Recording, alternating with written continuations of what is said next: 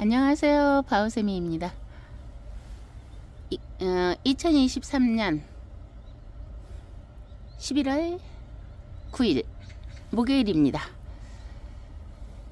이것이 지금 뭐냐 하면 칸나 구근인 구근입니다.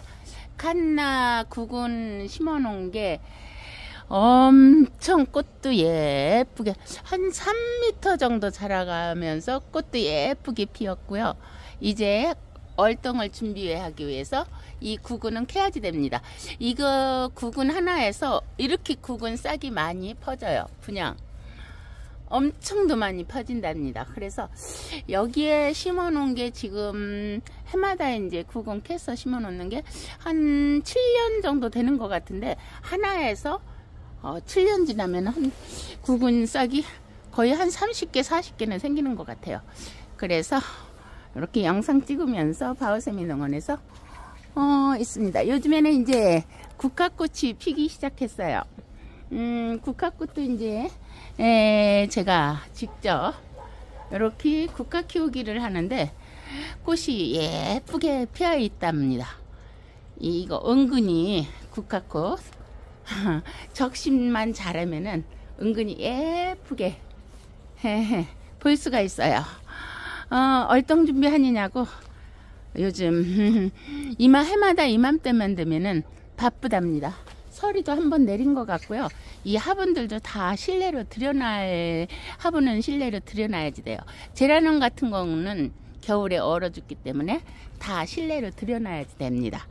어, 그래서 이렇게 한 바퀴 삥 돌면서 목요일은 항상 서부노인 복지관 어, 음, 라인 댄스 수업 가는 날입니다.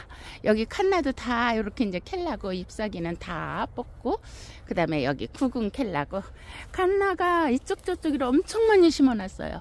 뭐 하우스에도 심어놓고 여기에도 심었고 여기도 칸나 저기도 칸나 엄청 많은데 구근 캐려고서는 이렇게 준비를 하고 있답니다.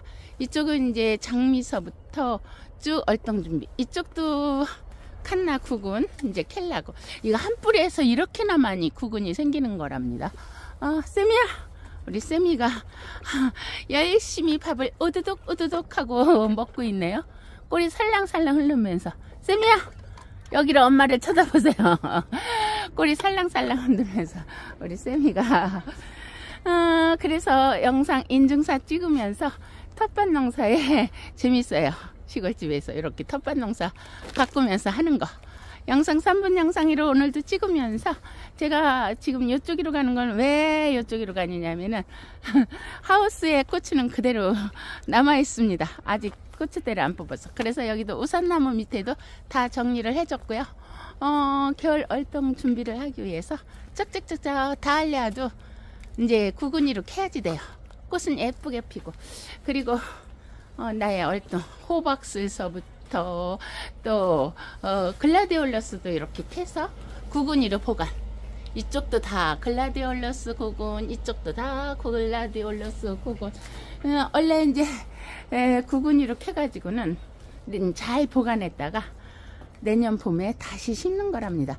호박도 메뚜로박도 이렇게 나머니 싹 어, 여기에 메뚜로박이요. 하얗게 분이 이렇게 나오면은 좋은 거랍니다. 그리고 이쪽에 있던 할미꽃 모종은 밭으로 텃밭으로 옮겼어요. 어, 옮기는 중이랍니다. 지금도 열심히 옮기고요. 다알리아도 구근 색상별로다가 다 분리해서.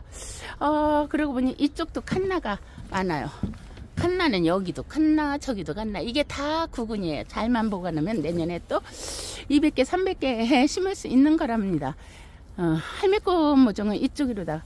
어, 배추는 땡땡하게. 배추 한 200개 심어놨더니 뽑아서 10포기 20포기씩 뽑아서 미리미리 김장을 하면서 맛있게 먹고 있답니다. 이쪽에 텃밭에 가지랑 토마토랑 넝쿨 거두면서 이쪽으로 할미꽃 모종을 옮겼습니다. 여기서 쫙 이, 이곳에서 이제 겨울을 날 거예요. 쫙 한 바퀴 돌면서 여기는 이제 제가 어, 야생 달래 씨를 뿌려놨어요. 그래서 봄이면은 이쪽에 야생 달래가 쭉 날 거랍니다. 은행나무도 쩍쩍 와 하늘도 맑고 목요일의 기쁨입니다. 끝! 영상 끝! 안녕! 바오세미입니다. 자, 와, 싹이 상상아. 요거는 꽃무루 석산화 싹인데요. 꽃 예쁘게 9월달에 봤는데 이렇게 싹이로다가 이렇게 났어요. 바오세미 농합니다. 철컥! 2023년 11월 9일 바오세미 농원에서 얼동 준비하면서 오전 시간 보냅니다. 영상 끝.